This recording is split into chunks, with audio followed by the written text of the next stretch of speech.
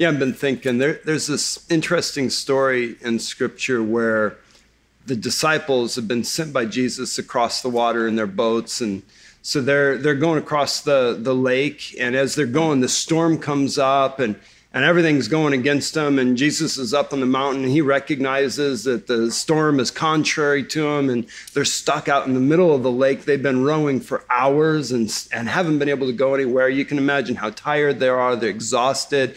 And Jesus decides that he's going to go to the other side of the lake. And so he just he starts walking across the water and as he's walking across the water, scripture says this very interesting thing. And he was going to pass them by. The disciples are in the middle of this storm, and in the midst of the boat, they're, they're, they're tired, they're worn out, they're, they're fishermen that are struggling through a storm, and Jesus is just going to walk right on by them.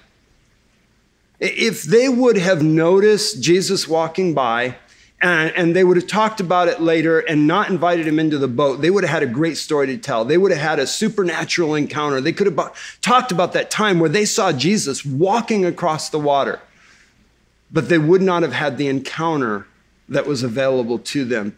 And there are often times in our life where, where Jesus is doing something and we get the opportunity to recognize that he's about something, that he's accomplishing something, but we're not yet involved in it. And the level of hunger that we have will determine whether or not we get brought into what Jesus is doing. If Jesus is walking through your town, are you willing to let him walk by, or will you cry out? Oh God, do not pass me by. Do not pass me by. I must have a real encounter with you. I don't want a story that I can tell people 10 years from now. I want an encounter that changes my life, that changes my city, that changes my destiny.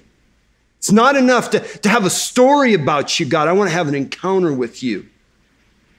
Don't pass me by, God.